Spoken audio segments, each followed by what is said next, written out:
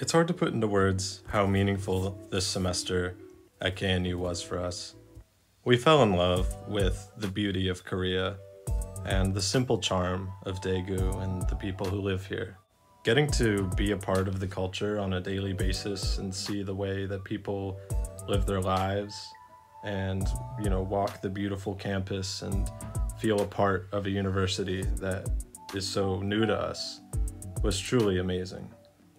And of course, we loved getting to try new foods and to get to go to the convenience stores and try the coffees, and overall, just to get to try a lot of new things that we had never done before and see the new type of architecture and the cherry blossoms, Northgate, downtown, Dongdaegu, the parks, everything that is just extremely memorable.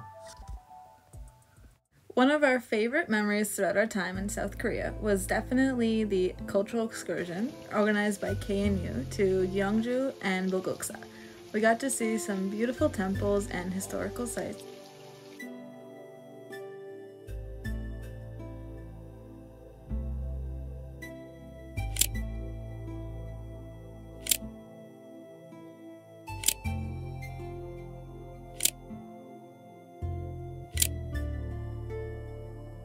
And not only did we get to experience Daegu, but we also got to experience surrounding cities like Busan. We went to the fish market, the cultural village, and saw the port, and were just amazed by the beauty.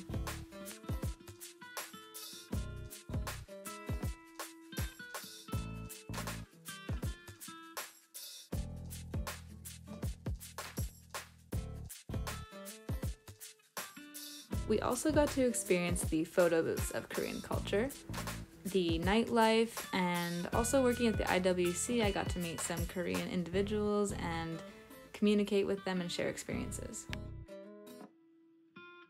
And although it's hard to put into words how meaningful this experience was at KNU, we know that it's something that will be with us forever.